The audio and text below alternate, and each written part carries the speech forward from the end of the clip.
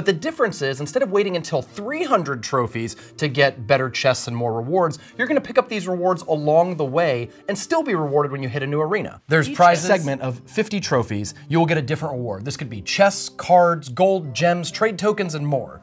Players who make it all the way to 4,000 trophies will get multiple guaranteed legendaries, including a legendary King's Chest right before you hit 4,000 trophies. So every single time you reach a new arena or league, you will receive a 24-hour chest speed up boost. So and Trophy Floors, which is maybe a name that is pending, no, but we like it, so we might keep it. Each arena that you reach um, will be your new trophy floor, and you cannot drop below those trophies. Mm -hmm. So and if you're sitting there worried, wait, I'm already at 4,000 trophies. Will I get the trophy road rewards?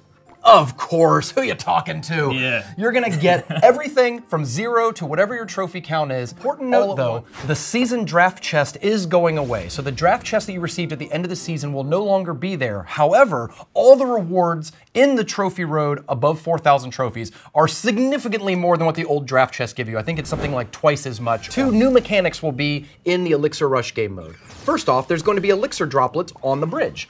The first troop to walk over that Elixir droplet will collect it for that player.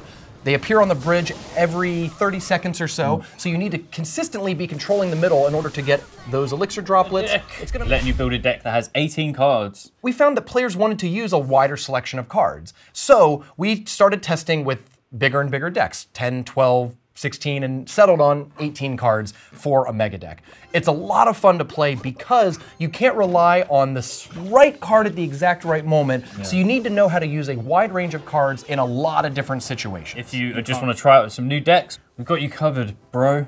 Bow!